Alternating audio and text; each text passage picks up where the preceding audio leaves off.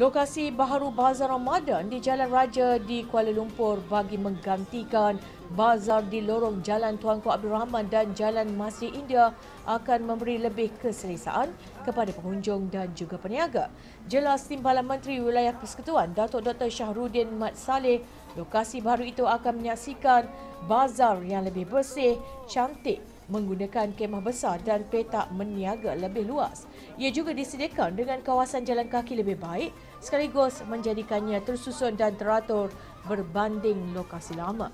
Lokasi asal tidak lagi sesuai memandangkan pihak Dewan Bandaraya Kuala Lumpur di BKL mendapat banyak bantahan dan aduan daripada pemilik premis kedai berhampiran. Ini termasuk isu kesesakan lalu lintas yang teruk dan juga masalah longgokan sampah sarap.